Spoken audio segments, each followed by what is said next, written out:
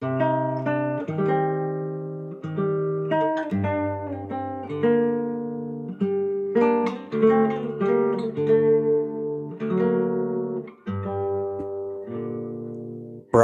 Bigkas Bayani Itanghal Gunitain Kasaysayan at Bigyang Saysay.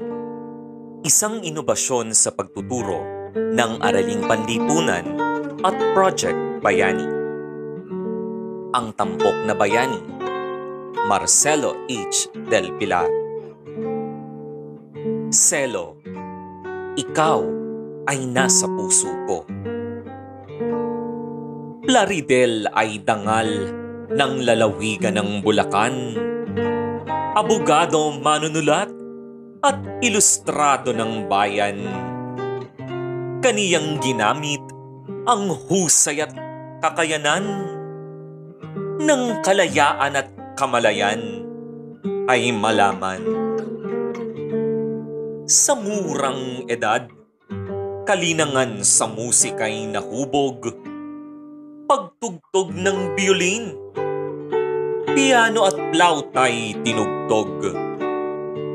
Maging sa paaralan, talino ay kaniyang hinubog. Husay sa pamamahayag, sa bayan ay idinulog. Sa diaryong Tagalog ay malinaw na sinimulan, makabayang kaisipan, minulat ang sintang bayan. Isang propagandista at katoto sa pahayagan. Pangalawang patnugot ng La Solidaridad. Ginamit ang Plaridel bilang kanyang pangalan, dasalan at tuksohan, nagbukas ng usapan kaiingat kayo. Panlaban sa mapaniil na dayuhan.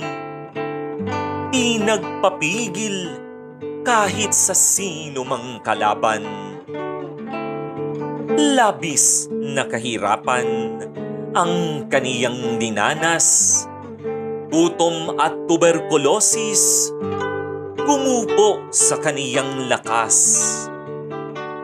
Namatay na nagmamahal sa bayan at lahat. Kaya sa puso ng bawat Pinoy ay di magluluwat